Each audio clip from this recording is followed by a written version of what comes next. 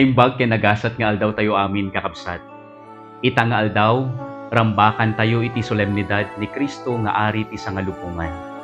Dahito iti kangatuan ken maudi nga aldaw ti fiesta iti liturhiko a kalendaryo sakbay amang rugi iti panawen ti Adviento.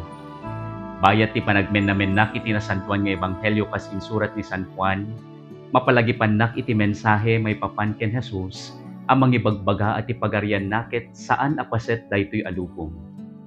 Kayat naasawen, at ituray ken kinaari nakit agsaknap iti labes tinaindagaan alubong tayo. Tila dawan ni Jesus nga agtaktakder ti sangwanan ni Pilato as iuulimek, ken natibker ti pamati na, ipalagip na kanyak ti kinauneg ti ayat, ken managsakripisyo agalad ti panagturay na.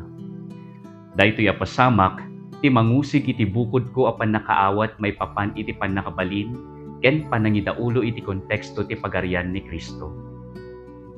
Iti lubong a masansan at ipanangidaulo ken panakabalin ket mainaig iti nainlubungan na kinabaknang ken kasasaad.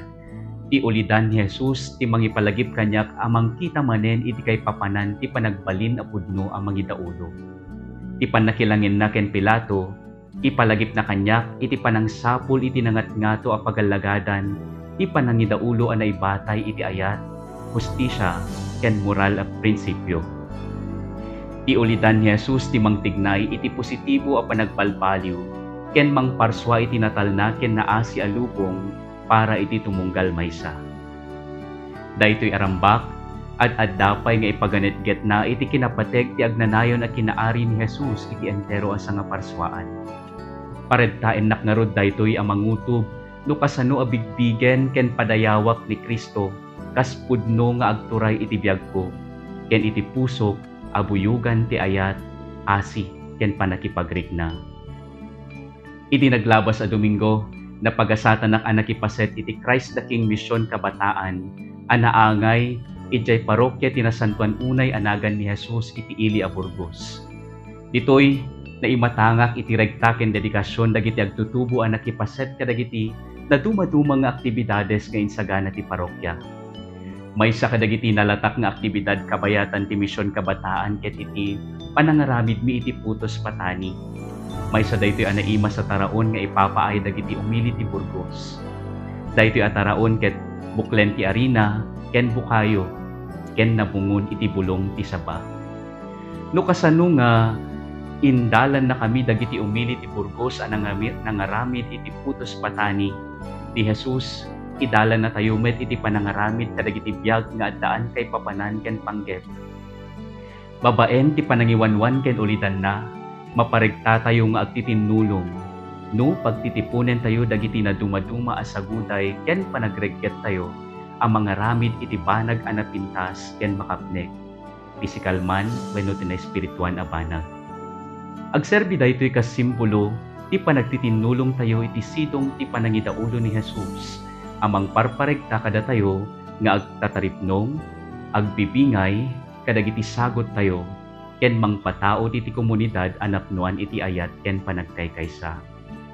No kasano at tunggal ramen mangpasaya at iti raman ken kinapateg tinaimas sa taraon tunggal may sa kada tayo ket addaan met iti naysang sangayan apaset iti plano ti Dios amang parayray iti nabaknang ken natalged a ken panagkaykaysa tayo.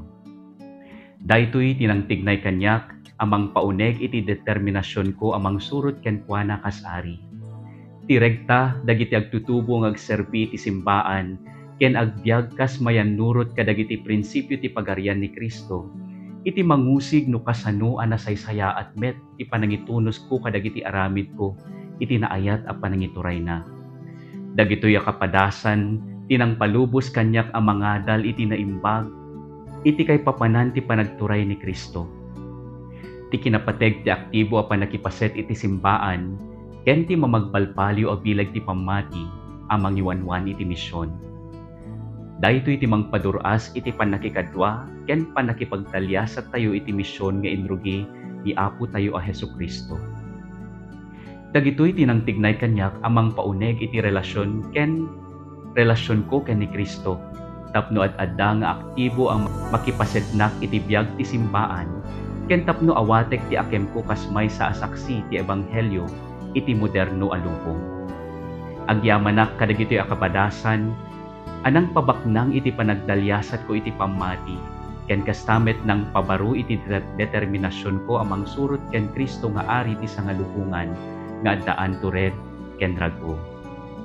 Sapay kuma, takanayo na bigbigan tayo ni Jesus kas pudno nga ari tayo, ken ipalubos tayo, adag iti panursuro na imang tubay iti biyag tayo. Sapay kuma, tapadayawan tayo ni Apo Jesus, babaen ti panangikagumaan tayo amang bangon iti pagarian ti kapya. Asi, ken kinahustisya ditoy daga. Amen.